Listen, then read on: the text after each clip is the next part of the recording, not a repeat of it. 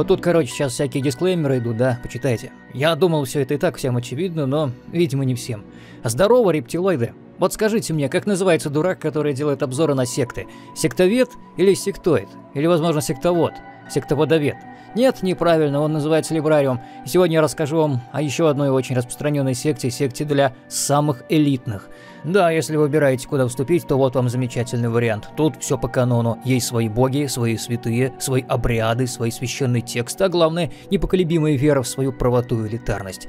Слово «элита» будет в этом ролике мелькать бесконечное число раз, потому что это лейтмотив всей идеи. Посчитайте, сколько раз оно используется в этом ролике, и получите приз «Большое ничего». Это, как вы поняли из названия, секта Сони Боев, или секта свидетелей Сони. Секта, существование которой я до недавнего времени отрицал. По глупости, дурак был. Не то чтобы я очень наивен, просто пользуясь полученным жизненным опытом, я делю все сказанное на два. Если мне заявляют, что какая-то группа лиц упорота, я не верю этому на слово. Мало ли, вдруг они сталкивались лишь с отбитыми, а сама по себе эта группа вполне вменяема. Это вообще довольно частое явление. В общем, я не внемлил предупреждением и не верил в существование такой прослойки, пока не столкнулся с ней сам, но об этом чуть позже. И да, я все понимаю. Да, я понимаю, как у многих из вас сейчас горит жопа. Я буквально ощущаю этот жар по температуре, сравнимый с пламенем Балрога. Я осознаю, что сейчас буду пинать священную корову. Даже одно упоминание того, что я собираюсь сделать ролик про Sony Boy, вызвало незначительный, но вполне ощутимый взрыв негодования. Тут же посыпались язвительные вопросы, мол, а не хочу ли я снять про упоротых пекарей, да? Мол, они что же есть и тоже отбиты? Нет, не хочу. И вот почему. Я веду канал преимущественно об играх уже 4 года, и логично предположить, что таких ПКшников, учитывая, что их статистически подавляюще больше, я должен был повидать немало. Однако за все эти годы я лишь пару десятков раз видел, как люди, помимо высказывания своего веского, как пудовой гири мнения, выделяли себя в элитную касту печников, мол, мы, во какие, не то что эти соснольщики, да? И это на несколько сотен роликов – то есть не возникло никакой рокировки элитных позиций в целом. Даже когда ругаешь или недостаточно хвалишь какой-нибудь очередной безоговорочный на поверку шедевр, люди готовы тебя порой с грязью смешать. Но они никогда не давят на принадлежность этого шедевра к лагерю бога машины великого незабвенного ПК, а меня к противоборствующему лагерю консольщиков-холопов тоже не приписывают. Им обычно хватает сказать, что я просто криворукий и лью воду. Да, это тоже целая культура на ютубе, а не как-нибудь в другой раз. Для того же, чтобы активировалась целая орава кричащих о своей элитности консольщиков и напротив об ущербности ПК-бояр, хватило просто не согласиться с тем, что какой-нибудь очередной проходняк с высоким потенциалом вроде Horizon Zero Dawn не безоговорочный шедевр и, о боже мой, имеет целую вязанку критических минусов, но при том все равно интересен и рекомендуем к ознакомлению. Все, этого достаточно, чтобы на тебя вылились тонны негодования, мягко говоря. Ну а мои личные истории знакомства с этим культом в другой раз, точнее чуть попозже. Я к тому веду, что культ упоротых ПКшников существует в ничтожно малом количестве, да и вообще есть основания полагать, что если такие сообщества агрессивно настроенных двигателей идеи превосходства и существуют, то они скорее организовались в противовес культу сонебоев, потому как у них зачастую позиция такова, вот у этих вот ПКшников, да, доказать, что что комп не хуже консоли, и позиция это проигрышная. Вместо того, чтобы утверждать, к примеру, что комп лучше консоли, они находятся в обороняющейся позиции, отбивая глупые нападки про то, как 720p в 2015 году это как бы норма, и никому больше просто нафиг на самом деле не надо. Вот в чем правда-то, ребятки. Похожая ситуация, кстати, у яблочников и ведроводов. Последние также селятся доказать, что Android не лучше, а именно не хуже iOS. То есть при всем желании тут не углядишь позицию превосходства, даже при его фактическом наличии, потому что никто не любит, когда их образы жизни смешивают с говном. Я думаю, достаточно внятно описал идею бессмысленности рассмотрения всяких культов упоротых ПКшников, потому что нет такого культа. Попробуйте поругать любую ПК-игру, не акцентируя внимание на том, что она именно ПКарская, то есть не давя на антагонизм двух лагерей, всем будет пофиг. Во всяком случае, никто не упомянет этот самый антагонизм, никто о нем даже не вспомнит. Кроме разве что парочки упоротых, но такие есть всегда и везде. А теперь попробуй хотя бы просто не похвалить консольный эксклюзив, не говоря уже о том, чтобы поругать. Да что уж там, пройдите прямо сейчас в комментарий и насладитесь тем, как рвутся, извините, жопы. И не забудьте зонтик. Но очень важно сказать следующее. Sony бои, о которых пойдет речь, это не консольщики в целом. К огромному счастью, это не так – и нужно быть бараном или обиженкой по жизни, чтобы любое упоминание Sony Boy сводить к тому, что я ненавижу консоли и их пользователей, учитывая, что я сам консольщик в том числе. Консольщики – это те, кто предпочли играть именно на консолях или смешано с ПК. Sony Boy – это обожествляющая продукцию Sony индивиды, мнящие себя высшим светом. Позже я еще коснусь этой темы, но, как вы понимаете, особо упоротых муцер эта градация все равно не устроит. Начать, пожалуй, а да, все это было лишь вступление, а вы как думали? Так вот, начать хочу с описания того, как все начиналось. Вот такая вот тавтология. Я не буду рассматривать доскональную историю становления консоли с приведением статистики и песнопениями о вкладе их в культурное развитие, чем дам еще один замечательный повод сказать, что ролик снимал дебил, который ни в чем не разбирается, а просто гонит на ни в чем не повинных. Просто общих чертах. Ну так вот, началось все с того, что компания Sony выпустила свою первую приставку PlayStation. Не в смысле, что она была первая, а в смысле, что первое поколение. Скажу честно, я не знаю, что было в те времена, так как я столько просто не живу, однако я в курсе, что как минимум в России в те времена была распространена другая приставка Sega Mega Drive, в которой все и гоняли. Она была дешевле Sony, а потому доступнее. Впрочем, для тех, кто не мог себе позволить купить Соньку, были вполне доступны игровые салоны разной степени упоротости, где за почасовую плату можно было наиграться в сласть, просадив все накопленные карманные деньги. О да, спустя годы Соньки заменили компудахторы с белоснежно-желтым пластмассовым покрытием, а затем резко наступили 2010-е годы, когда компьютер есть в 80% домов, а смартфон есть чуть ли не у каждого бомжа. Так что, как видите, обладать в те времена личной приставкой – это все равно, что обладать святым Граалем, ты был просто царь на районе.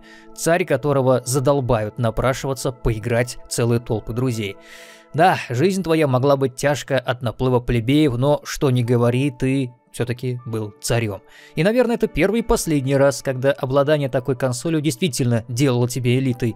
Тут, правда, нарушена причинно-следственная связь, но у детей это бывает, им это не в упрек. Не ты элита потому, что можешь купить консоль, а наоборот, достаток твоего дома может позволить себе купить консоль, поэтому ты элита. Но тогда у людей в нашей стране, а давайте я сразу скажу, что буду сегодня рассматривать именно нашу страну преимущественно, так вот, достаток у нас у всех в святые 90-е был сильно ниже, чем сейчас.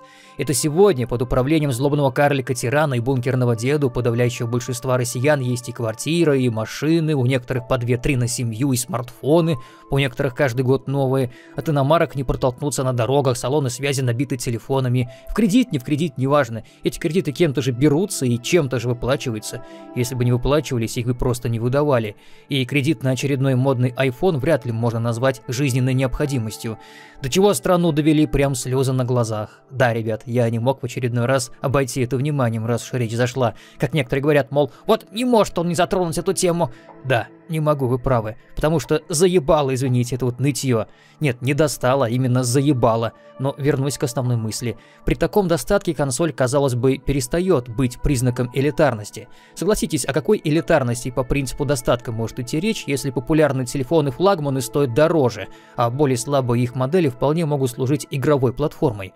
А я напомню, в России игровая индустрия никуда не исчезла, как это ни странно. Она просто поняла, что можно рубить огромные бабки на мобильных играх, и именно этим она сейчас и занимается. Просто посмотрите на показатели. Никакие PlayStation и компьютеры рядом не лежали. Ну, точнее, лежали, конечно, но именно что рядом. Однако, несмотря ни на что, PlayStation сохранила свою элитарность. Притом, самое интересное, только она одна. Сменилась лишь форма подачи. Аргументация. Все же, помимо PlayStation, были и другие интересные консоли, да и сейчас они, разумеется, есть. Есть PSP от тех же Sony, есть Switch от Nintendo, есть Xbox от Microsoft. Есть еще и другие менее желанные обществом, но в принципе этого достаточно. Рынок, как видите, не простаивает. Не наблюдается и монополии по той же причине, а поэтому консоли развиваются. Ну, хоть как-то. Вообще, с развитием технологий разница между консолью и персональным компьютером становилась все заметнее. Притом разница именно концептуальная, так как по сути что то компьютер, что это компьютер, и оба этих компьютера такие, что жатал я их микросхему. Это можно вырезать. ПК изначально создавался как рабочая станция, и как только он перестал быть громадным залом с вычислительными блоками величиной со шкаф, он действительно стал применяться именно в работе. Но, разумеется, для игр его тоже начали использовать. То было зарождение игровой индустрии. Капитан Квадратик, Генерал Треугольник, никаких тебе RTX 360 Титан, представляете? Индустрия развлечений как явление существовала столько, сколько существует человек, и с переходом игры индустрии она, разумеется, подхватила это веяние. Зачем маленькому мальчику огромная махина с перфокартами, клавиатурой в полстола? Зачем ему многозадачность и гибкая система, если он всем этим не будет пользоваться? Мы же до сих пор не знаем обо всех функциях Windows. Да что ж там Билл Гейтс не знает обо всех функциях Windows, потому что они нафиг не нужны. Поэтому давайте отрежем от компьютера все лишнее, упакуем покомпактнее и оставим только возможность запускать игры. Так и появились консоли. Безусловно, в них, как был тогда, так и есть сейчас, откровенно заметный плюс. Даже в наше время далеко не все используют компьютер как игровую платформу, а из тех, кто использует, не все имеют подходящее железо, чтобы игра шла стабильно. А на консолях все стабильно, ни бага, ни лага. Да и гораздо приятнее сидеть с геймпадом на диване перед большим телевизором, нежели пялиться в монитор с близкого расстояния, верно ведь? Тем более, что сейчас очень много эксклюзивных игр для консолей, правда? Да, это классические аргументы консольщиков. И некоторые из них действительны, некоторые нет. И вот на этом уже стоит остановиться подробнее. Консоли в каком-то смысле прямые конкуренты ПК именно по своей концепции. Раньше было так, сейчас это уже не актуально, но в прежние времена производители консолей вовсю старались подчеркнуть принципиальную разницу между ПК и их детищем. Я говорю производители консолей, не деля их на виды, потому что в те времена это было еще не важно. Вы же помните, что я подводил все к элитарности консоли? На чем же она основывалась? На правильных маркетинговых ходах – Понимаете, ведь среди любого сообщества найдется кучка избранных, которые захотят обособить себя по какому-нибудь признаку и возвыситься над остальным плебсом, стать той самой элитой. Так какие же признаки элитарности у консоли? О, их несколько. Я очень долго собирал различную информацию, боясь упустить хотя бы один аргумент, но все равно все данные из всех источников сводились к одному и тому же. Пункт первый. Удобство использования. Ты включил консоль, установил игру с диска или сервиса, запустил и играешь. Ты можешь расположиться на удобном диване перед большим телевизором с беспроводным геймпадом и наслаждаться игрой. Тебе не придется устанавливать драйверы, кодеки, и все это уже предустановлено заранее. Ты также можешь серфить интернет, например, YouTube или Netflix. Это удобно. Пункт второй. Качество и эксклюзивность игр. Не секрет, что у Sony очень высокий порог качества, поэтому только самые качественные игры проходят ценз и выходят в свет. И что не игра, то шедевр. 10 из 10, 12 из 10, всем миром пропоем виват и попросим добавки из 10. Игр такого качества никогда не выходило и не выйдет на компудахторах, потому что это эксклюзивы для консола бояр. И качество этих игр идеально даже в техническом плане. Забудьте про лаги, забудьте про тормоза, тормоза, игры на консолях не лагают и просадок там нет как вида. А самое главное, не нужно заботиться о системных требованиях. Ты купил игру и ты точно знаешь, что эта игра у тебя пойдет в максимальном качестве. Это ли несчастье? Пункт третий. Доступность. Купить консоль, даже самую современную, может каждый. В том смысле, что купить или собрать компьютер, который тянул бы то же самое, стоит куда дороже. А тут просто заплатил и радуешься. Вот, например, самая современная консоль PlayStation 5 404 Edition стоит всего 47 тысяч рублей. Упс, подорожало, да. Забавно, на рынке так и не появилась, а уже подорожало. И любой дурбецло может себе ее позволить так или иначе. Речь, конечно же, о версии с дисководом, потому что консольщики гораздо честнее ПК холопов и никогда игры не пиратят. Зато у них отлично развит обмен и перепродажа дисков, так называемый вторичный рынок. Пункт четвертый. Из предыдущего пункта логически выходит, что обладание столь дорогой консолью делает тебя элитой, так как ты можешь позволить себе ее купить. Если вдруг увидите здесь противоречие, тем хуже для вас, нищеброды. У вас просто нет денег на нормальную консоль, вот вы и завидуете. Пункт пятый, тем временем, игра с друзьями.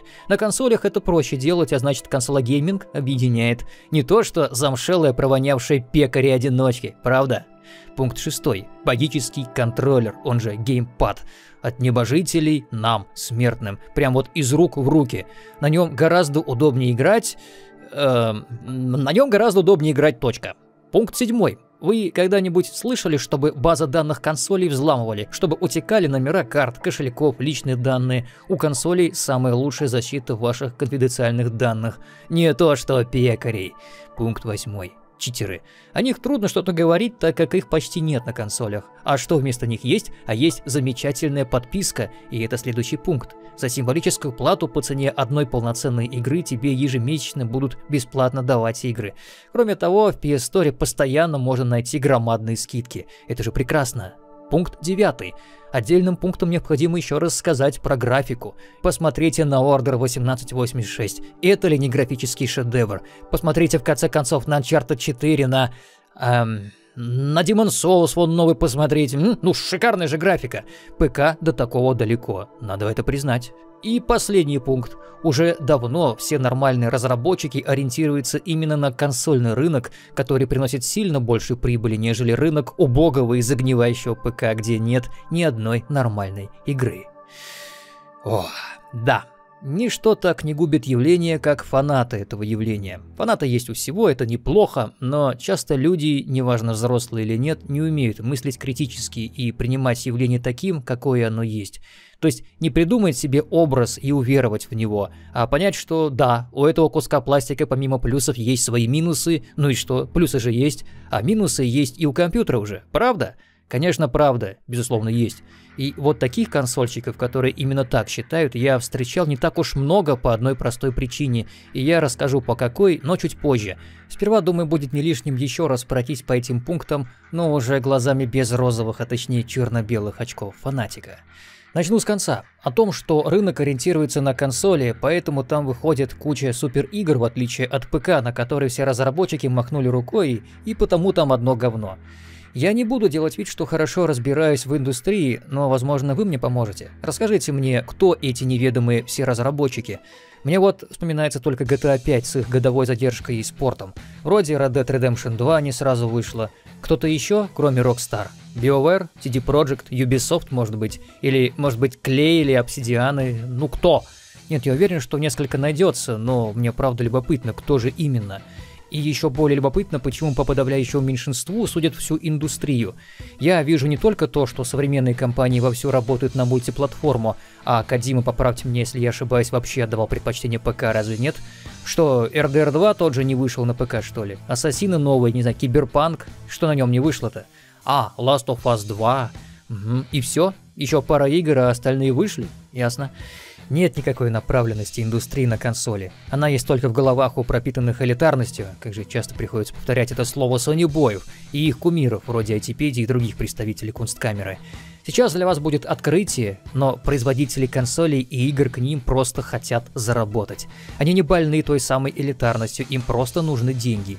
Их вклад в развитие эксклюзивности – это программа, которая, по идее, должна принести для них еще больше денег – как и выход устаревших уже игр вроде Horizon на ПК, тоже ради денег, а не ради искусства, и уж тем более не ради угождания своей целевой аудитории. На последние они вообще всегда плевали, но это тема для отдельного разговора. Далее без пунктов просто потоком. Удобство использования. Ты включил консоль и играешь. Я не вижу никаких сложностей с проделыванием того же самого на компьютере. Вот серьезно. Для обладателей геймпада даже Big Picture в Steam придумали. Можно, кстати, упрекнуть ПК в том, что многовато лаунчеров развелось, но с другой стороны, можно заявить, что это результат заинтересованности платформы со стороны компаний, а главное, развитие конкуренции, которой не существует на плойках. А отсутствие конкуренции непременно ведет к стагнации и загниванию, особенно с таким комьюнити. То, что ты можешь расположиться на удобном диване перед большим телевизором с беспроводным геймпадом и наслаждаться игрой, это вообще не аргумент, и никогда им не был. Да, хорошо, геймпад от Xbox удовольствие не дешевое. 3-3,5 тысячи рублей по старым ценам – это немало для большинства россиян. Я вот с 2011 года сижу на родном геймпаде Xbox 360 и не испытываю никаких проблем с комфортной игрой. Да, проводной, но провод 3 метра. У меня и жилплощади-то столько просто нет свободной. И ни у кого нет за редким исключением. Я сильно сомневаюсь, что реальная элита из просторных пентхаусов будет бугуртить по этому поводу. Тем более, что давно уже есть беспроводной геймпад от Xbox One 3, кажется, ревизии, который нормально работает с любым компьютером на Windows. Купил дополнительный аккумулятор и забыл, что такое разрядка в принципе. Enoloop, три штуки, сам пользуюсь такими, стоит тысячи полторы-две. Все. Подключить телевизор вместо монитора тоже, знаете ли, не уникальная способность консоли. Любые видеокарты, начиная с десятых годов, если не раньше, умеют это делать, не говоря о современных. На каких там HDMI сидели пользователи четвертой плойки? На 1.4? А теперь какой? 2.1 хотя бы, надеюсь. Про серфинг в интернете при помощи консоли – это вообще гениально. Сначала мы отрежем от компьютера весь функционал, скормив это в форме тезиса о том, что это никому не нужно, а потом будем добавлять все то же самое потихоньку, потому что ну куда без этого. Но нет, мы не ПК, мы отличаемся, понимать надо. Вы представляете, каково было мое удивление, когда, купив телевизор, обычный недорогой китайский телевизор фирмы Huawei с 8-битной матрицей, я обнаружил, что он в принципе умеет все то же, чем гордятся судебои. Он умеет серфить интернет, и на пульте это, кстати, делать также удобнее, чем на консоли. Он умеет проигрывать YouTube, даже в 4К, кстати. До такого, говорят, смогли додуматься только на пятой плойке. Тут я не уверен, но вроде бы выяснилось, что PS4 Pro хоть и поддерживает 4К, как бы, видео с YouTube в нем не воспроизводит в этом качестве. Да что уж там телевизор. Большинство людей, ну или просто немало их количество, смотрят YouTube с мобильных устройств. И поэтому гордиться этой возможностью, возможностью которой есть чуть ли не у любой электроники, это маразм. Но им сказали гордиться, а не гордятся. Пункт про возню с драйверами выставляет консола Бояр как недалеких людей. Любой, кто с компьютером не на «вы», умеет устанавливать драйвера. Процесс их поиска и установки на современном железе уже давно сделан удобно, а обновляется многое автоматически. Та же Nvidia никогда не забывает упрекнуть меня в том, что «ты не обновил драйвер, мразь, ну-ка обнови!» Ну, даже если ты не всеведущ в установке и в обновлении драйверов, это, конечно же, не делает тебя глупым или ущербным. Ты всегда можешь найти руководство к действию на том же Ютубе или в других источниках.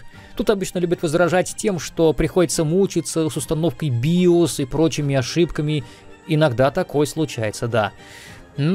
Вот верите, нет, я за компьютером уже больше полутора десятков лет, и ни разу мне не пришлось перепрошивать BIOS. Сдается мне, это не такая уж частая проблема, какой ее рисует. Ну или просто мне везло, не знаю. Что до ошибок, они случаются, да. Синие экраны, ну бывает. Но только пользователи ПК в этом случае могут спросить совета на форумах и что-то с этим сделать. А консольщикам, причем любым, ничего не остается, кроме как танцевать с бубном, боясь лишиться гарантии, либо тащить приставку в сервисный центр и молиться, чтобы случай был гарантийным. Потому что это вполне в духе Sony признать очевидный свой косяк негарантийным случаем и уповать на то, чтобы никто не поднял бучу на этот счет, как это уже случилось в PlayStation 5. Качество и эксклюзивность игр. Да, действительно, есть ряд очень достойных эксклюзивных игр. Я не щупал их все, но очень многие от них в восторге. Давайте примем мнение большинства за правду. Пусть так. Last of Us, Uncharted, God of War, про который я уже рассказывал. Действительно отличные вещи, кстати. Но вы замечали когда-нибудь, что когда речь заходит об эксклюзивах, называются одни и те же игры раз за разом? Много ли эксклюзивов вышло за последние 7 лет, за жизненный цикл приставки? Ведь не так уж и много, как кажется. Мультиплатформы выходило гораздо больше. А сколько из них действительно, а не надуманно, были шедеврами? Я понимаю, очень многие сейчас проходят игры на ютубе, на стримах блогеров. Это видно из того, что мне пишут как минимум но это не совсем свой опыт. Это как вот кооператив. В кооперативе любая дрянь будет интересной за счет как раз таки кооперации. Даже просто снежками перекидываться с другом уже будет интересно. То же самое и здесь. Судить по игре даже по обзору это уже не совсем верный вывод, и в идеале было бы хорошо пройти ее все-таки самому, за редкими исключениями типа вопиющих случаев на вроде той же Андромеды или Антом.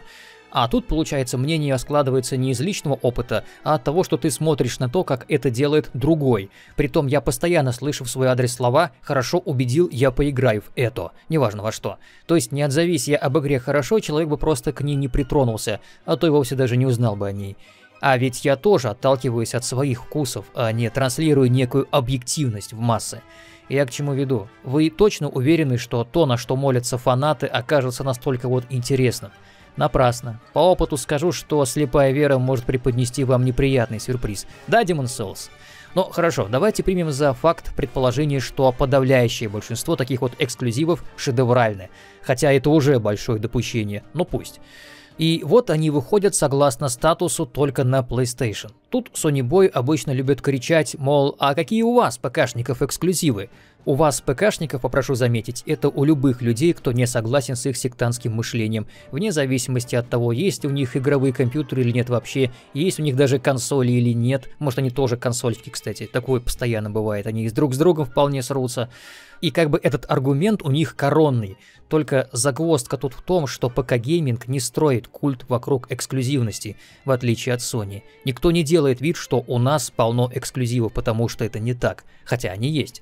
Повторюсь, рынок сейчас нацелен на мультиплатформу, потому что так ненавистная и любимая нами абстрактная, жирная, капиталистическая свинья очень любит деньги, еще раз повторю. Именно поэтому выходит мультиплатформа, именно поэтому так обожаемые Boy'ами эксклюзивы выходят потом на ПК поджигая их задницы. Как видите, ради денег на эксклюзивность можно и наплевать, так что и этот аргумент несостоятельный.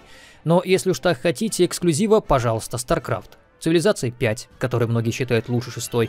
Я, как человек, который не ждет выхода игр, а просто берет, что нравится и играет, могу еще добавить Arx Fatalis, Гномы, которые и прочие ретро-игры-реликты, с которыми у Sony полная параллельность, то есть они вообще не пересекаются. У них даже обратной совместимости не было до выхода PlayStation 5, так что хочешь поиграть в старенький МГС, купи третью плойку. Потому что запускать эмулятор грех. Спасибо, да. На ПК с ретро-играми проблем нет. Скажете, старье? Да, старье. Но справедливости ради, консольщики тоже любят хвастаться своими God of War'ами. А первый, между прочим, ровесник второго Котора. На секундочку. Кстати, насчет второго Котора. Попробуйте установить на игру любительский патч. Или мод. Сколько радости было у фанатов Скайрима, когда моды стали доступны и на консолях, пусть даже не все. Угу. С подключением вас. Но это я так, к слову. По поводу высокого порога качества. Очень спорный вопрос. Наслушавшись сказок о великолепной оптимизации, просто-таки волшебной, я, как дурак, в это поверил. И был немного, скажем так, удивлен, когда Last Guardian стал не просто подтормаживать, а безбожно проседать, причем не время от времени, а чуть ли не половину игры.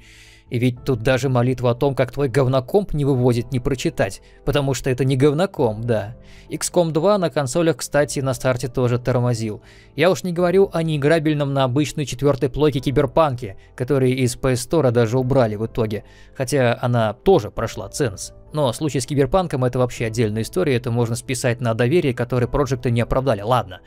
Но на самом деле найдется море игр, где вполне себе видны просадки. Я не заядлый игрок в эксклюзивы, но думаю, зрители расскажут о своем опыте, да? Расскажете ведь? Не только же про мои кривые руки слушать, правда? Подтягивайтесь.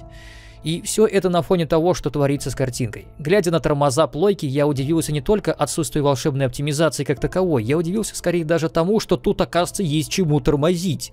Давайте будем честны, графические стандарты и консоль это два разных полюса. И в этом нет совершенно ничего постыдного. PlayStation 4 была напичкана железом, которое уделывалось барахлом производства 2007 года.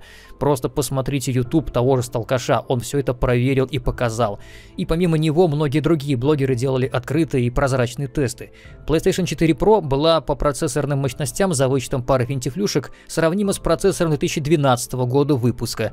С остальной начинкой дела обстояли не сильно лучше, и, конечно же, ждать от такой сборки великолепной графики глупо. Это среднячок, тем более застрявший во времени. Да, этот фактор – бич консоли, и из-за него консоли – это бич игровой индустрии. Они тормозят прогресс. Разработчики придумывают новую технологию и готовы включить ее в игру. Современное железо, которое пусть еще не все пока могут себе позволить, но все же кто-то точно может, оно уже способно воспроизводить эту самую технологию. Или же пока еще не способно, но очень скоро в перспективе, через пару, допустим, лет, станет способно. Но нет, эту технологию не включат в игру, потому что консоль, мало того, что со старта слаба и ее не потянет в принципе, так еще и ее обновить, эту самую консоль, нельзя, разве что дождаться выхода Pro версии, которая еще не факт, что будет достойным продуктом. Мало того, разработчики еще и даунгрейд проведут, как это было с тем же Ведьмаком, чтобы, не дай бог, игра не начала тормозить на слабейшей из выбранных платформ. И еще запретит об этом упоминать, мол, они это делают ради слабых ПК. Ага. А ютуберам, которые говорят обратные, будут кидать предупреждения, как я слышал. В итоге целая индустрия по 7 лет топчется на месте, и только сравнительно недавно выходящие мультиплатформы начали дополняться для ПК загружаемым контентом в виде 4К текстур, например, потому что на консолях нет родного 4К, только динамическое. Тот же RDR 2 вышел на ПК с опозданием на радость Boy, но они как-то стыдливо обошли то, насколько графически крутым он стал по сравнению с консольной версией. Зато довольно часто от них я слышал тезис, что, мол, в игре какие-то ползунки, еще что-то настраивать надо, еще не факт, что тормозить не будет, а у нас вот включила играй. Да, представьте себе, на ПК можно настраивать. Это на консолях нет выбора. Одна графика на все, и тоже не факт, что просадок не будет. Я слышал в RDR 2, они там, кстати, тоже есть. Я прав, ребят?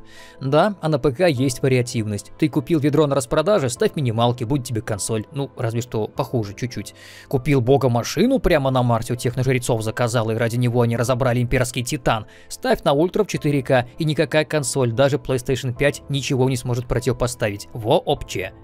Но одного у консоли не отнять. Они отлично умеют выжимать из картинки максимум. Они отлично умеют выезжать на изобретательности, вертеть как ужи на сковороде в рамках древнего металлолома. И часто они выезжают также на дизайне.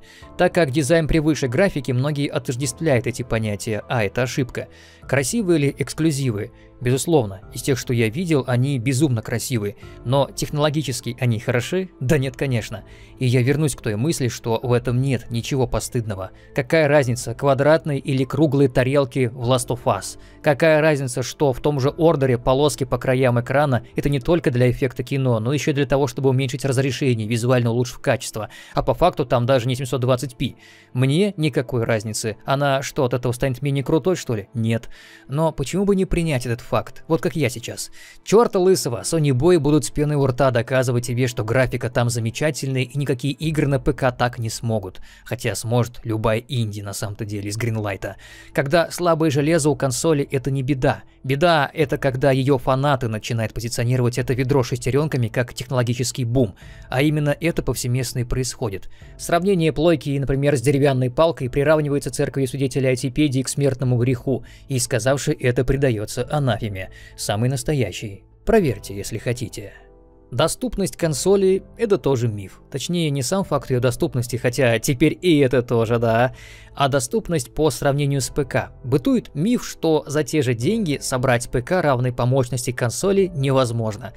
Этот миф благополучно развеяли уже не один десяток ютуберов, собрав из железа 2007 года, если не ошибаюсь, сборку превосходящей по мощности PlayStation 4, и стоит она ровно тех же денег. Я не знаю, может кто-то просто собирать не умеет. Тут нечего стыдиться, я вот не умею. И я спрашивал совета, когда собирал компьютер. А не пошел в Эльдорадо условную, не купил там компьютер по цене консоли, не принес домой, не выяснил на показ, что это, оказывается, дрянь. Вот уж неожиданность, да? Но это ладно. Скажите, а вот э, вы рассказываете, как хорошо играть, сидя с другом на диване у большого телевизора. Э, вот большой телевизор, он входит в стоимость консолей? Что, нет, да, его отдельно покупать надо? Интересно. Доступность как-то уже меняет свою форму, да? И нет, телевизор, хороший телевизор есть не у всех. У большинства есть монитор, но это же не канает, верно? Покупать телевизор лучше сразу хороший, потому что не каждый может себе позволить даже раз в 7 лет вместе с приставкой менять еще и телевизор. Учитывая сегодняшние реалии, брать нужно сразу 4К, потому что хоть немалое количество фанатов консолей вплоть до 2015 мать вашу года рассказывали нам, что как бы Full HD не нужен, что 720p это нормально, в 2015 году, да, а в 2005 мне рассказывали, что 800 на 600 это как бы тоже норма, и нафиг этот ваш 720p не нужен. Вот, даже несмотря на это, тормознутые консоли теперь тоже перешли к нему, к 4К. И угадайте, как этот безусловный прогресс встретили фанатики. Как прогресс? Ух, с большой буквы. Серьезно, да? Глядишь, скоро и до стабильных 60 FPS дойдут, да. Хотя, конечно, кому нужны эти 60 FPS, как вот мне говорят постоянно, да, 30 вполне достаточно. Ваш глаз больше не увидит, особенно через розовые очки. Угу. Вот, большой телевизор, короче, 4К, это даже не 10-битной матрицей выйдет 1040, если не больше, что уже превышает стоимость консоли. Хотя, когда я посмел, о, посмел ругать Horizon за непроглядную темноту на миссиях, мне сказали, что это просто мой монитор дрянь, и нужен нормальный, с 10-биткой. А это уже от 60 тысяч на момент тех лет, это два года назад. Далее вы с другом э, одним геймпадом собираетесь играть? Нет, второй нужен. Ну так а что, он в комплекте идет? А я правда не знаю, я просто слышал, что нет. Докупайте. Что, что сколько? Пять тысяч? Чтоб я сдох. А, а вон наушники там, хуюшники, всякие там зарядки, подставки, вот это вот все тоже брать будете, да? Тогда с вас еще пятнарик. И это как бы норма. Очень бюджетник, что сказать. Но, в принципе, и без этого барахла играть можно, да. Однако не принимать во внимание стоимость этого тоже нельзя. Ну, хорошо, вы с другом играете не на одном диване, а по сети. А, вы подписочку на PlayStation Plus оплатили, надеюсь, да? Потому что без нее сетевая игра будет недоступна. Я был в шоке, серьезно, когда узнал, что это не шутка. Я реально думал, что это шутка. Чтобы играть по сети, мне, платящему за интернет, надо еще платить за подписку. Это же просто гениально. Прибавьте к этому еще и отсутствие региональных цен, благодаря чему игры стоят как не ведь что. Хотя этот аргумент с годами сильно ослаб. Из-за бесконечных обвалов курса рубля игры в Стиме стоят уже почти столько же. Не все, конечно, но и немало. Хотя исключений все равно полно. Ведьмак продавался за 600 рублей на старте, Ори 2 за 450, это вообще копейки. Однако когда-то это был сильный аргумент, на который консольщики, как обычно, фыркали и рассказывали про подписку PlayStation Plus, угу, за которые дарят по одной-две игре в месяц. Правда, если подписку не продлить, ты в них не поиграешь, то есть как бы они твои, а как бы и не очень, да. Распродажи и прочее, это все понятно, но это не прерогатива консоли, они и в Steam тоже есть, и в Origin, и в других тоже сервисах. Боюсь даже упоминать про сезонные скидки в том же хотя бы Steam, где шедевры годовой или двухлетней более давности можно купить за 500 или 800 рублей. Ну и еще вот этот вот вторичный рынок, знаете, да. Перепродажа дисков. Да, гордиться тем, что у вас нет пиратства и самим же заниматься легализованным пиратством. Или что, для вас секрет, что разработчикам невыгодно, чтобы одну и ту же игру покупали не у них, а у какого-нибудь забулдыги, потому что ему эта игра надоела.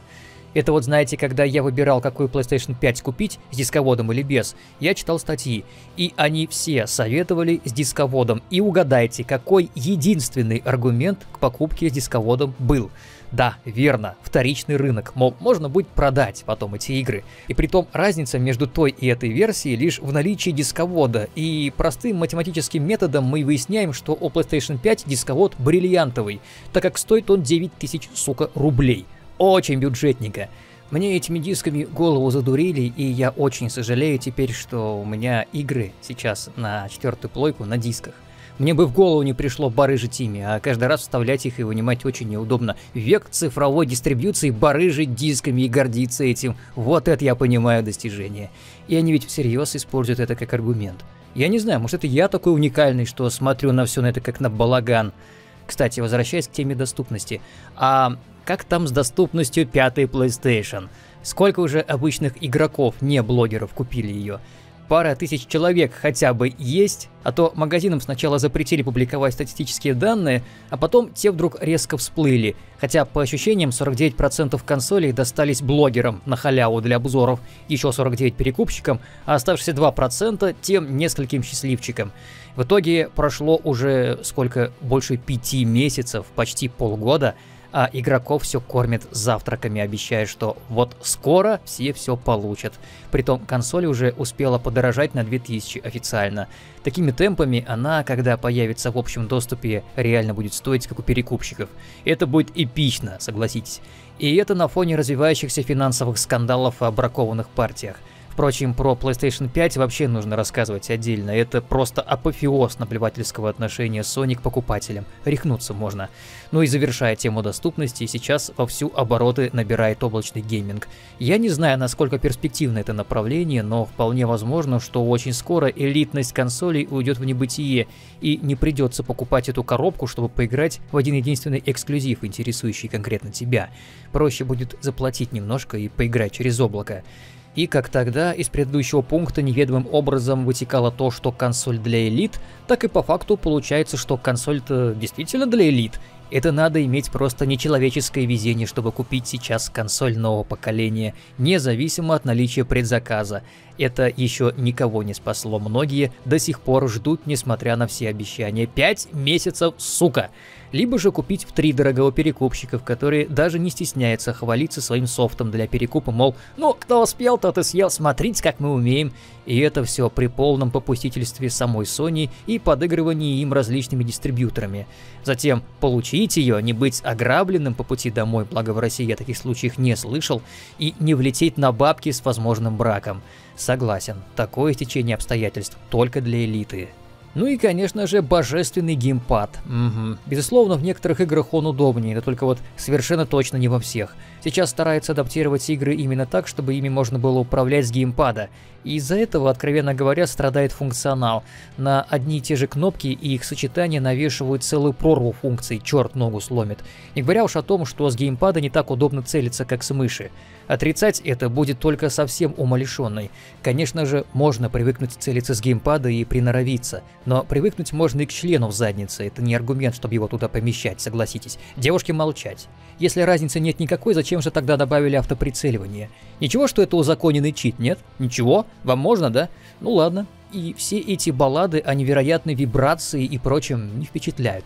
Стики действительно удобны в плане регулировки скорости движения, но, думаю, и это однажды добавят функционал клавиатур. Заимствование же в конце концов, продают же специальные клавиатуры для консолей, почему бы и нет. Насчет взлома данных, ну, тут полное взаиморастворение, что данные PS Store взламывали и базы утекали в сеть, что, разумеется, ПКшные. Что там еще? Отсутствие читеров? Ну, вообще они есть, да, но их меньше, в силу ограниченности функционала консоли. Да, это безусловный плюс, тут нечего возразить. Как видите, все аргументы превосходства быстро разбиваются о логические доводы. Да и в принципе, зачем они нужны, если так посмотреть. И консоли ПК имеют ряд преимуществ. Да и просто не стоит забывать, что кому-то эти самые консоли банально удобнее, кому-то неохота, скажем, заморачиваться со сборками, да и, возможно, компьютер нужен только для работы. А тут как раз есть аппарат исключительно для игр. Да, графика там не ахти какая, но на самом деле отъявленных графодрочеров по миру не так уж и много. Безусловно, графика двигает процесс игровой индустрии, именно она в первую очередь, и уже под нее, под технологии, меняются геймплейные стандарты. Но сама по себе графика не сделала еще ни одну игру интересной. Ее делает таковое оформление, то есть аудиовизуальное наполнение, а и в визуальном плане это в первую очередь дизайн, и, конечно же, атмосфера и геймплей. Люди спокойно играют в старые игры с откровенно устаревшей графикой и не жужжат. С консолями, по сути, та же история. Мне сто раз плевать, что текстурки и разрешения в том же God of War далеки от тех, что я привык за жирные годы бога машины. И чё? Мне от того, что игра станет меньше нравиться? Нет. Но принять жизнь такой, какая она есть, развлечение не для всех, нет. Надо же как-то себя возвысить над остальными. А как же логика, которая разбивается волны аргументов в пользу превосходства консолей? А логика по боку, есть кое-что покруче логики. Вера непоколебимая вера в это самое превосходство. И тут мы подходим именно к сути вопроса. Сонибои — это самая настоящая секта. Не верите? Смотрите, существуют следующие 10 признаков секты. Маркетинг, оно же распространение учения, иерархия и двойное учение, взносы, непогрешимость лидера, подавление рационального сознания, книги и собрания, противопоставление миру, активность, обособление от внешнего мира и опознавательные символы. Разумеется, культ Сонибоев подходит не под все эти пункты, тем более полноценно, но нужно понимать, что эта секта социальная, а не религиозная. Хотя вера там, ну, самая настоящая, прямо как в настоящего бога. Смотрите сами, в ней есть свой бог. Это Sony как фирма и как приставка, единая в двух лицах. Есть свои апостолы, распространяющие учения, тот же Айтипедия, великовозрастный дурак, вещающий на мультимиллионную аудиторию, притом достаточно нетребовательную, готовую внемлить каждому слову. И не он один такой, просто он самый заметный. И эти апостолы, как и вера в Sony, непогрешимы. Попробуйте только вякнуть что-то в их сторону, с радостью обольют желчью. Могли бы убить, убили бы, уверяю, но они не могут, пока что интернет такой функции пользователям не предоставил. Это, к слову, о непогрешимости лидера. Это самая Sony уж сколько раз, как и Apple, издевалась над своей аудиторией, но люди плакали и жрали кактус, нараспев его расхваливая. Sony бои никогда не признают ни одного косяка за их любимым брендом, потому что он непогрешим. Тот самый маркетинг, то бишь распространение, происходит в первую очередь через таких вот людей и их более популярных коллег-апостолов, несущих слово. Последний не имя собственное, а причастие, кажется, в Ахафаге молчать. Но и адепты рангом пониже, то есть не имеющие большого влияния, тоже любят зайти, мягко говоря, куда-нибудь и оставить там свой след. Из этого вытекают еще два пункта признака секты. Во-первых, та самая иерархия. Да, она тут вполне условна, но могу сказать, что люди в принципе склонны творить себе кумиров и верить им на слово. Ютуберы как раз подходят под это описание вполне. Особенно популярные. У большинства из них аудитория, увы, такая, что поверит любой чуши, лишь бы эта чушь была им удобна и укладывалась в их видение жизни. И во-вторых, это та самая деятельность. Вообще, я давно заметил, что для немалого количества людей испражнение в интернете – это хобби и даже не больше, не меньше стиль жизни. Кто-то свободное от работы время, кто-то даже вместо работы все это свободное время отдает на то, чтобы доказывать в интернете, что все вокруг говно, а они д'Артаньяны. Они называют это по-разному. Нести правду в массы, троллить, ловить лолзы. Есть много красивых слов и фраз, которыми они прикрываются. Правда в том, что люди живут скандалами ради скандалов же. Позитивная повестка дня и жизни отсутствует как вид, поэтому и жизнь такая очень гнетущая, и поэтому любая попытка указать на это будет встречена в штыки. Подвид сонибоев тут отличается от основной массы только объектом преклонения и темой для срачей.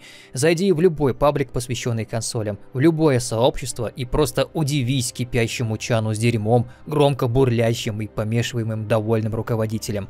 Спокойствие это не про них. Аргументы без оскорблений, обвинений, проклятий тоже не про них. Двойное учение и подавление рационального сознания у них проявляется как раз в том, что рациональные доводы игнорируются напрочь.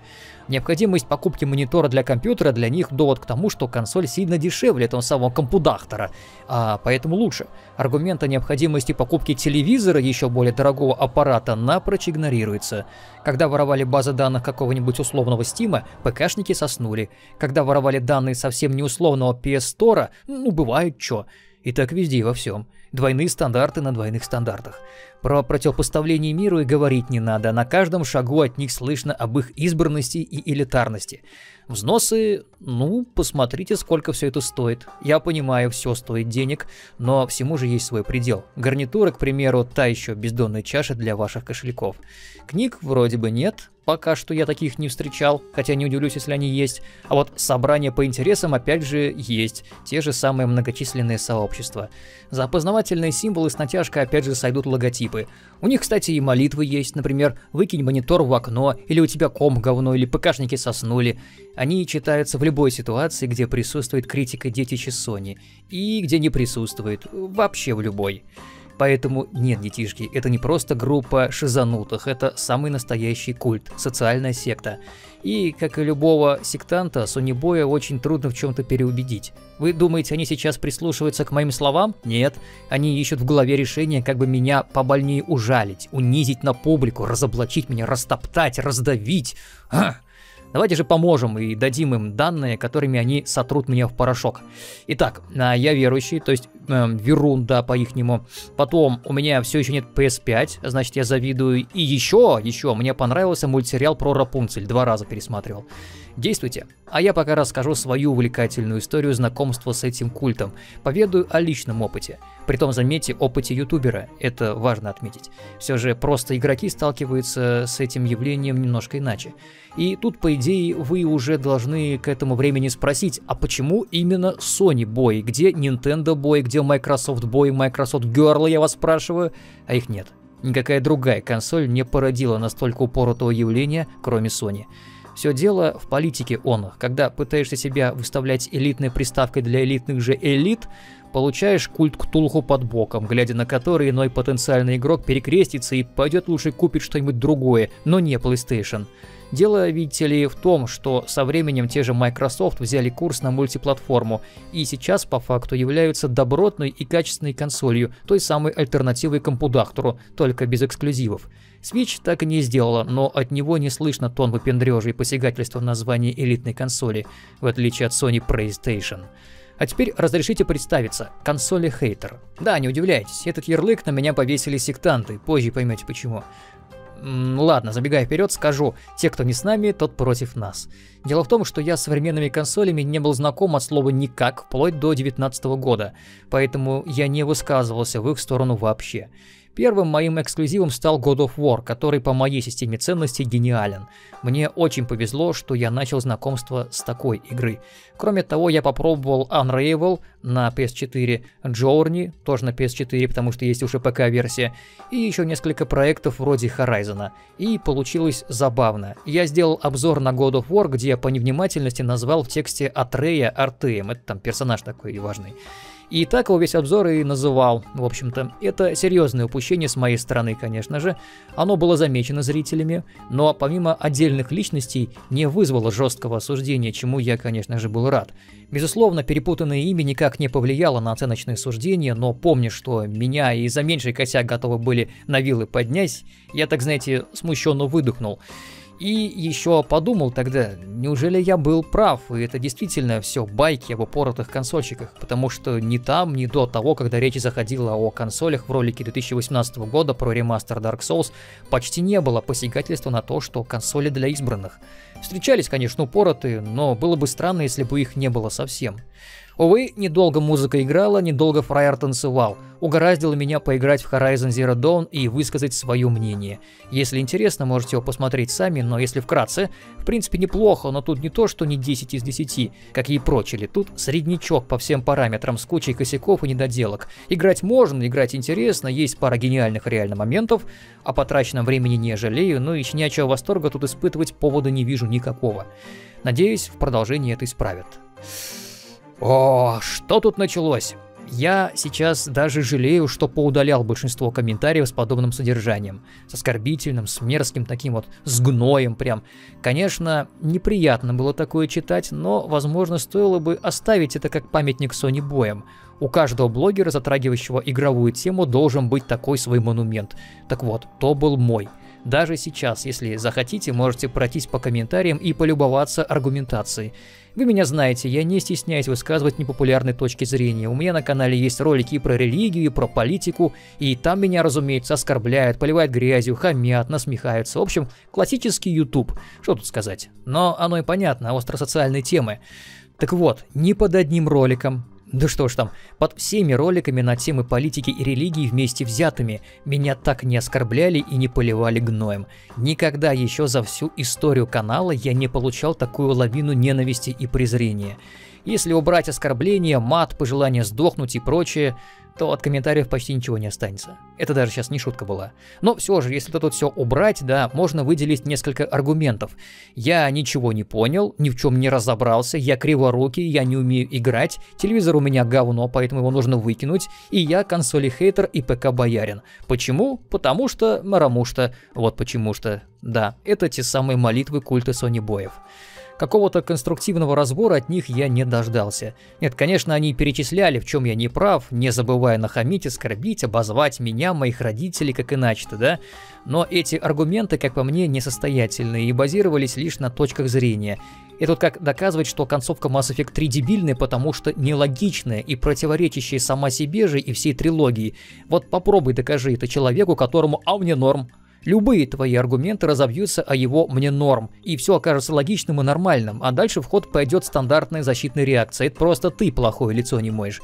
Вот то же самое было и там. Притом люди, особенно такие, часто любят кричать о правах, мол, каждый имеет право на собственную точку зрения. Обычно они говорят это, когда дело касается их, но попробуй ее выскажи, и если она им не понравится, убьют и съедят. Как доказать фанатику, что многие игровые решения того же Horizon были сделаны через задницу? Никак. Фанатики, в отличие от фанатов разной степени упоротости, всегда упороты стабильно сильнее и в купе с приступом элитарности смотрят на любую критику как на говно. И на критику, и на критика. Ты никогда и ни в чем их не переспоришь, как голуби из той шутки про голубя. Интересно было то, что согласных со мной было намного больше, гораздо больше, но та относительно небольшая кучка людей создала эффект массы. Забавно звучит, да? Эффект массовости, оставляя свои фекалии повсюду и создавая у меня стойкое впечатление полной упоротости консольного комьюнити, к которому я сам вот недавно присоединился. Да, я был неправ, признаю, но вы меня тоже поймите, видеть столько грязи в свой адрес, кто бы что ни говорил, как бы себя пяткой в грудь кто ни бил, это далеко не просто. И, конечно же, в мозгу сразу рождается ответная реакция. Я еще раз напомню, как работает YouTube. Если человек согласен, он поставит лайк и молча уйдет, максимум скажет пару слов, для статистики так сказать. А вот недовольный человек, чье хобби ходить и поливать людей грязью, пользуясь безнаказанностью и вседозволенностью в интернете, он не может просто так высказать свою фи. Нет, что вы. Он обязательно нахамит, поставит сам себе лайк, потом пойдет шерстить комменты и искать там таких же кретинов, лайкать их комменты, писать под ними свои ответы, устраивать дискуссии о том, какая автор сволочь, лайкать эти ответы, делая процесс максимально похожим на взаимную дрочку. Потом пойдет под другие ролики, там тоже нагадит, и на других каналах, где хоть как-то был автор упомянут, в любой группе, вообще везде. Таким образом создается эффект массовости, возникает впечатление, что все консольщики такие. А где же нормальные? а нормальные по традиции молчат, поэтому количество лайков превышает количество дизлайков, а количество гневных комментариев по ощущениям зашкаливает все равно. Поняли систему? Поэтому я в который раз призываю вас не молчать, граждане. Вы не представляете, как я был рад, когда под роликом о Demon's Souls массово начали отмечаться именно нормальные консольщики. Кто-то оспаривал мои тезисы, кто-то соглашался, но они делали это по-человечески, на нормальном языке. Поэтому я действительно прошу у вас прощения, если вдруг кого-то задел тезисом, что 95% консольщиков упороты в щи. Вы буквально вернули мне веру в человечество. Это, конечно, не касается Sony Боя, котором и ролик Demon Souls тоже, разумеется, не понравился. Да, там, конечно, присутствовал также фактор того, что на мой обзор другой блогер тоже снял обзор, где рассказал, какой я плохой, от чего набег обезьян на пальму стал заметно сильнее, но по большому счету ничего не изменилось. Аргументы те же. Я не разобрался, у меня кривые руки, я консоли хейтер, нищеброд. Те же оскорбления, та же грязь. Месяц спустя я написал пост, где просил по мере возможности одолжить мне на время консоль, чтобы сделать обзор одной единственной игры, ремейка Demon Souls. У боев на это жопы рванули просто адски. Это как же так, элитная консоль для элиты, а он смеет ее просить. Просить немыслимо. В их головах так уж точно, потому что какой-то хрен с горы, который сме... смеет критиковать шедевральные 10 10 эксклюзивы, да. Может просто так вот взять и одолжить консоль в любое время. Сразу как-то корона, знаете, с головы спадает от такого. В итоге тезис о моей просьбе в их глазах выродился в то, что я ныл и требовал, требовал, да, 50 тысяч на консоль. И глядя на этот паноптикум, я какое-то время, секунд пять, так знаете, гадал, а почему тогда обзор God of War, где объективно были ошибки, так не разнесли? Почему там я не выродок, которому лучше было сдохнуть в утробе матери вместе с матерью? Почему я там не криворукий нищеброд? Ведь помимо технической ошибки с именем, меня, по идее, можно было бы точно так же притянуть за то, что я не знаю матчасть, ибо не играл в предыдущие три игры, что мне нравится это переосмысление, а не истинно крутые предшественники. Много чего можно было бы придумать, они это умеют. Так почему же они этого не сделали? Ответ прост, потому что Horizon и Demon's Souls я преимущественно ругал, а God of War хвалил. Как видите, ларчик просто открывается. Пока ты хвалишь то, что нравится нам, ты наш союзник, но попробуй только косо взглянуть на наше достояние, мы тебя порвем и съедим. Опыт с God of War позже повторился, когда я сделал обзор на Last Guardian. Там я тоже совершил пару незначительных ошибок, например, сказал, что говорят в игре на японском, а оказалось, что на вымышленном языке. Но откуда мне было знать-то? Я не знаю японский, а на слух вообще на самом деле очень похоже. Ну и что вы думаете? Была там лавина грязи на меня? Нет, потому что игру я хвалил. Весьма предсказуемо, вы не находите? А когда я таки смогу купить PlayStation 5, или вдруг мне реально ее кто-то одолжит на время, я сделаю обзор на Demon's Souls, на ремейк, Хотите сделать ставки на реакцию, учитывая, что основная идея прошлого ролика об игре не изменится? Озолотитесь ведь, ребят, озолотитесь. Такой вот у меня был личный опыт знакомства с сектой Sony Боев. Дальнейшее проявление интереса к этой теме открыло для меня неудивительную, в общем-то, картину. Так везде и у всех. На какой форум, в какую группу ВКонтакте, посвященную консолям, мне зайди, везде только разговоры, что о соснувших ПК-холопах и элитных консолобоярах с применением одних и тех же тезисов, с одними и теми же словесными формами, потому что они не умеют мыслить сами, они просто повторяют за другими, за своими кумирами. Если где-то критикуют эксклюзив, значит там точно рекой льются оскорбления критиков от Sony боев. Если где-то высоко оценивается консольный эксклюзив, то там тоже слышны крики про орал и ПКшников. А уж какой виск стоит на весь двор, когда эти самые пресловутые эксклюзивы портируют на ПК, и вот опять же какой стоит гол радости на все село, когда эти порты оказываются говенами, все тот же Horizon падающий нуль. Сразу идут аргументы, какие бы думали, верно, что доедаем огрызки за элитой, как будто криворукость некоторых компаний делает их победителями. И, конечно же, в любом таком изобличающем спиче в изобилии будет пережевывание все тех же давно неактуальных аргументов в пользу консолей, тех самых, что мы рассмотрели ранее. Именно Sony Boy набегами завышает оценки на разных ресурсах своим божественным эксклюзивом. Куда ни посмотри, одни шедевры повсюду, да. Именно от консольного культа слышно тезис, что главное не пройти игру, а рассказать другим, что ты это сделал. Это пошло от Xbox 360, но актуально именно для нынешней Sony. Потому что завидуйте плебея, я могу это себе позволить, да? Я состоятельный муцера. Я же могу позволить себе купить пластиковый гробик. М -м, я элита. Вообще противно, если честно. PlayStation мне очень понравилась, приятная вещь, даже музыка из главного меню классная. Однако даже мысль о том, что меня технически уже можно причислить к таким вот Sony боям, уже заставляет глаз нервно дергаться. И все это под аккомпанемент визгов о том, что ПКшники в очередной бесчисленный раз соснули. И хотя, как правило, принадлежность консольщикам или ПКшникам вопрос лишь достатка и предпочтений, когда и кого это останавливало?